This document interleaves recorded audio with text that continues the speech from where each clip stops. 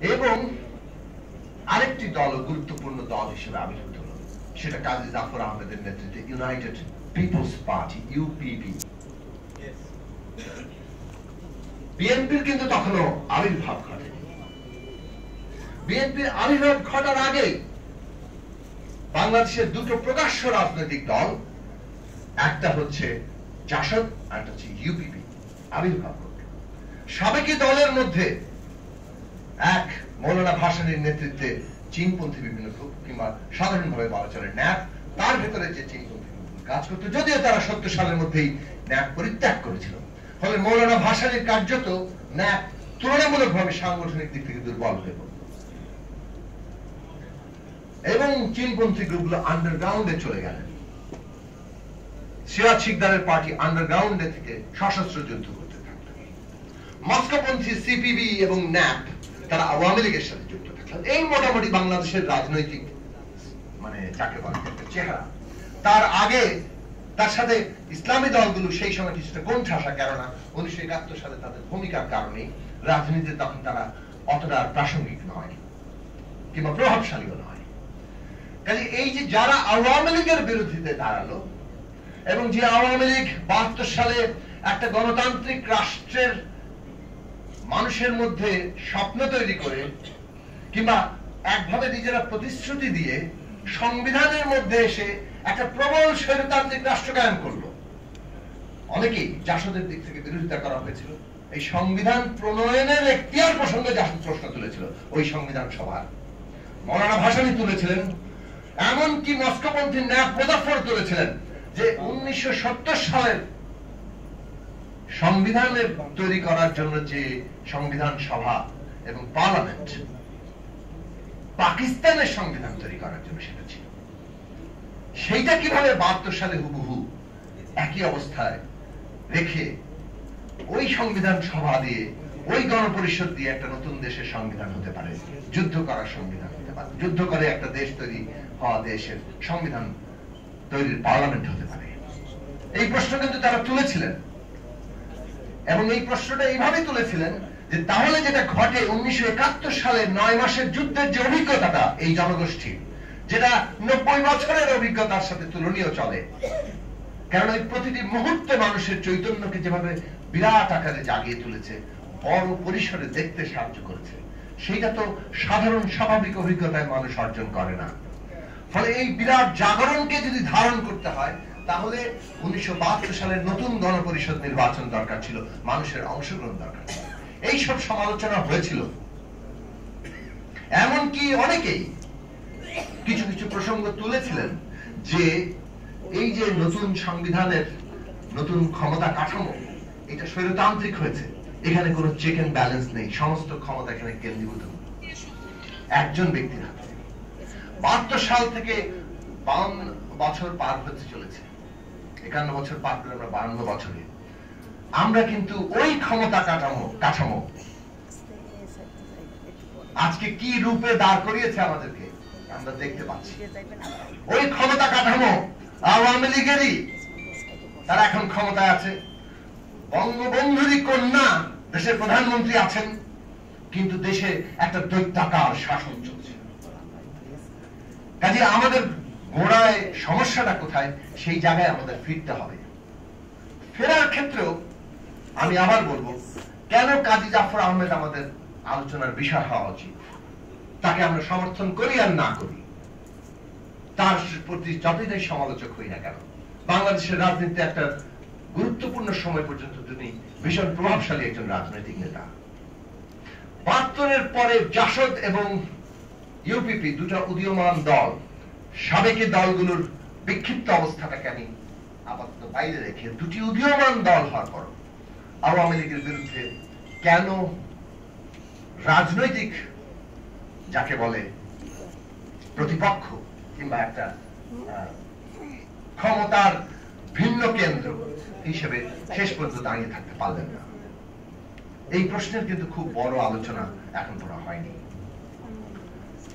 হয়তো কেউ করেছেন, মান্না ভাইয়ের সাথে আমি আলোচনা করছিলাম, উনি বলেছেন ওনার ব্যাখ্যা আছে এবং উনি লিখেছেন এ নিয়ে।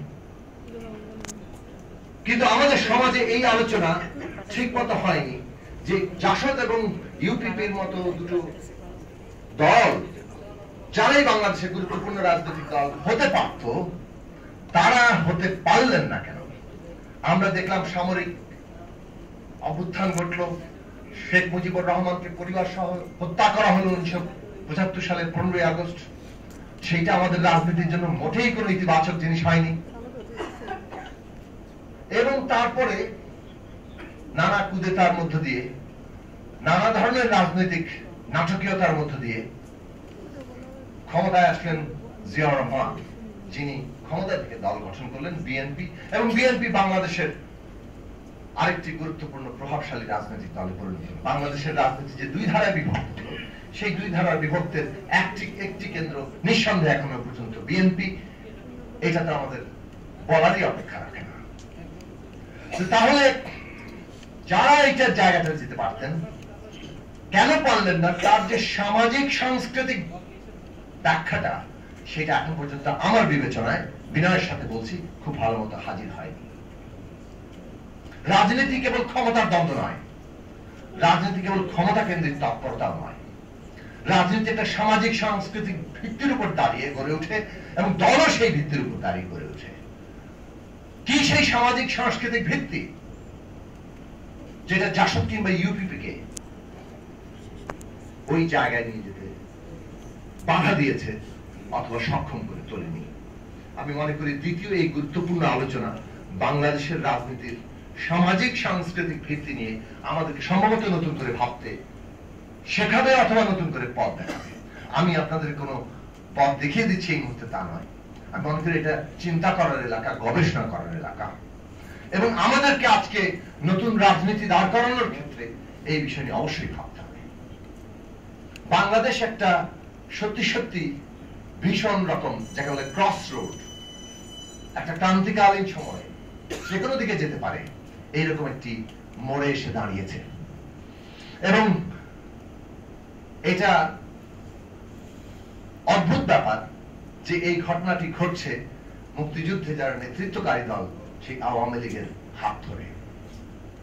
তারা এমন একটা ফ্যাসিবাদী শাসন কায়েম করেছেন এবং এটাকে জায়েজ করছেন এক নম্বরে রেখে যে গদি আর জীবনের নিরাপত্তা এক। গদি ছাড়লেই জীবন থাকবে না। কর্মীদের বোঝাচ্ছেন, সারা পৃথিবীকে বোঝানোর চেষ্টা করছেন, নিজেদেরও বুঝ দিচ্ছেন। এবং এইভাবে তারা আজকে বাংলাদেশে এটা ফাঁসিবাদ এবং এটা করতে গিয়ে বাংলাদেশকে একটা ভীষণ রকম ঝুঁকির দিকে ক্রমাগত ঠেলে দিচ্ছে। এই দেশের সমাজ, এই দেশের রাজনীতি এবং এই দেশের সার্বভৌমত্ব, এই তিনটি বিষয়কে আওয়ামী লীগ আজকে ঝুঁকির মধ্যে ফেলছে। আমাদের দেশের বিদ্যুৎ সমাজ, আমাদের দেশের এমনকি যারা প্রগতিশীল বলে পরিচিত, তারা বেশ দোদুল্যমান পরিস্থিতিতে। তাদের মাথায় আওয়ামী লীগ একটা জিনিস ঢুকিয়েছেন, যে আওয়ামী লীগ ক্ষমতায় না থাকলে দেশটা বিএনপি কাজে কাজেই জামাতের দখলে চলে যাবে। অতএব জবরদস্তি করে ক্ষমতা রাখতে হবে। নির্বাচন কোন জরুরি বিষয় নয়। নির্বাচন যদি লোক দেখানো করতে হয়, করে দেওয়া হবে। সেটা প্রথম শর্ত হচ্ছে আগে আওয়ামী লীগকে ক্ষমতা রাখতে হবে। আওয়ামী লীগকে ক্ষমতায় রেখে যাদের যে কয়টা আসন দেওয়া যায়, সেই রকম একটি নির্বাচন আয়োজন করা যাবে। এই যে আওয়ামী লীগের এই তত্ত্ব মানুষের একটা অংশকে তারা এখনও পর্যন্ত খাওয়াতে সোজা শব্দে বলি খাওয়াতে সক্ষম হয়েছেন এবং এই দেশের বিদ্যুৎ সমাজের একটা গুরুত্বপূর্ণ অংশ, এটা খেয়ে এই দেশের রাজনীতি বিশ্লেষণ করেন। তাদেরকে আমরা বলতে চাই, ইতিহাসের কাঠ ধরে আপনারা ভয়াবহ বিচারের সম্মুখীন হবেন। আপনাদেরকে মানুষ এই দেশের বিরুদ্ধে কাজ করার জন্য একদিন অভিশাপ দেবে। সে আপনার জীবদ্দশায় হোক আর অথবা আপনার মৃত্যুর পরে হোক। কারণ আপনারা আপনাদের দেশ নিয়ে সত্যিকার অর্থে ভাবেননি। নিজেদের সংকীর্ণ চিন্তা কিংবা একটি দলের একটি নেতার একটি পরিবারের সংকীর্ণ স্বার্থকে বজায় রাখতে গিয়ে পুরো দেশের স্বার্থ জলাঞ্জলি দেওয়ার জায়গা আপনারা তৈরি করেছেন তার জন্য আপনারা কাজ করে দাঁড়াবেন আওয়ামী লীগের অবস্থা কি আপনারা সবাই জানেন? ভয়ে কম্পমান একটা দল মানুষকে ভয় দেখাচ্ছে। যে যত বেশি ভয় পেতে থাকে, সেটার একটা প্রকাশ হচ্ছে সে ভয় দেখাতে থাকবে এবং ভয় দেখাতে দেখাতেই একসময় মাঠ ছেড়ে পালাবে। কাজে আমরা জনগণকে বলতে চাই, আজকের সংবাদপত্রে আছে, বিরোধী দলের প্রতি আরও কঠোর হবে সরকার। আমরা সরকারকে চ্যালেঞ্জ করতে চাই। এই দেশে আপনারা শাসন করতে পারবেন না। আপনারা দেশের ভবিষ্যৎকে বিপদের মধ্যে ফেলছেন। কাজেই বাংলাদেশের নাগরিক হিসেবে এই দেশে আমরা জন্মেছি। আমাদের পূর্ব প্রজন্ম এই দেশের নাগরিক। আমরা বাংলাদেশের ভবিষ্যৎকে এইভাবে ঝুঁকির মধ্যে আমরা আপনাদেরকে ফেলতে দেব না। আপনারা নিজেদের গদি রক্ষার জন্য দেশ নিয়ে ছেড়ে মেনে খেলবেন, সেটা আমরা হতে দিব না। জনগণকে আমরা পরিষ্কার করে বলি, বাংলাদেশের যদি আমরা রক্ষা করতে চাই, এই দেশের সমাজকে রক্ষা করতে চাই, তাহলে আমাদের এই দেশের রাজনৈতিক ব্যবস্থাকে গণতান্ত্রিক করতে হবে। এইটাই একমাত্র পথ। এবং গণতন্ত্র প্রতিষ্ঠা করতে হলে অনেক কিছু দরকার। তার মধ্যে একটা হচ্ছে জবাবদিহিতা। যদি জবাবদিহিতা করতে হয়, তাহলে দরকার ক্ষমতার ভারসাম্য। যদি ক্ষমতার ভারসাম্য রক্ষা করতে হয়, তার গুরুত্বপূর্ণ অংশ হচ্ছে ভোটাধিকার। মানুষের ভোট ছাড়া যদি অন্য কোনো ভাবে সরকার গঠিত হয়, সেখানে কোনো জবাবদিহিতা কিংবা ক্ষমতার ভারসাম্য তৈরি করা যাবে না। ফলে ভোটাধিকার প্রতিষ্ঠা করতে হবে। ওইটা হচ্ছে আমাদের লক্ষ্য। আঠারো কোটি কিংবা ষোলো কোটি, যাই বলেন না কেন, সমস্ত নাগরিকের ভোটাধিকার হচ্ছে এবারের লড়াই। এবং এই লড়াইয়ে আমরা আওয়ামী লীগেরও লক্ষ কোটি মানুষের সমর্থন পাবো। পেতে হবে। এবং সেই পাওয়ার জায়গাটা আমাদের তৈরি করা দরকার। মানুষের মধ্যে এই জায়গাটা তৈরি করা দরকার। সরকার কে হবে, জনগণ ঠিক করবে। কোন রাজনৈতিক দল ঠিক করে দিবে না যে অমুক ক্ষমতা আসলে বাংলাদেশের সুতরাং ভোট ছাড়াই নিজেদের ক্ষমতা দখল করে রাখতে হবে। এই অবস্থা কোনোভাবেই গ্রহণ করা যাবে না। কোন দল এই রকম চিন্তা প্রকাশ করলে তাকে ফ্যাসিস্ট দল হিসেবে বাংলাদেশে চিহ্নিত করে তাকে বর্জনের দিকে ঠেলে দিতে হবে এবং সেটাই আজকের রাজনীতি। আসুন আমরা ঐক্যবদ্ধ হই। গণতন্ত্র মঞ্চে আমরা লড়াই করার চেষ্টা করছি ভোটাধিকারের জন্য। এবং ভোটাধিকার প্রতিষ্ঠা করতে হলে শাসন ব্যবস্থা বদলাতে হবে। বিদ্যমান শাসন ব্যবস্থা রেখে ভোটাধিকার হবে না। অতএব এইবারের লড়াই পরিষ্কার ভাবে ভোটাধিকারের লড়াই। এবং সে কারণে এবারের লড়াই একটা নতুন গণতান্ত্রিক শাসনতন্ত্রের লড়াই। এই দুই লড়াই, এক লড়াই এবং এটাই আজকের এক দফা। শেখ হাসিনার সরকার এই এক দফার সামনে পরাজিত হবে গণ অভ্যুত্থানে তাদেরকে উৎখাত হবে। এবং সেই লড়াইকে গড়ে তোলার জন্য আপনাদের সবাইকে আহ্বান জানিয়ে আমি আমার বক্তব্য শেষ করছি।